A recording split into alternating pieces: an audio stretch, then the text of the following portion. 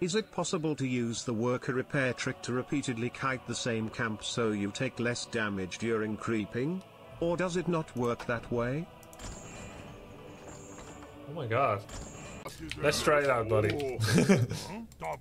am yours.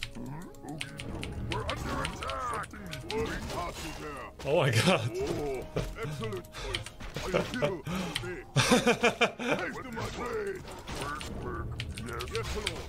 it's so cool, actually. Oh man, I mean, I'm also killing it slower, but I think you can perfect it.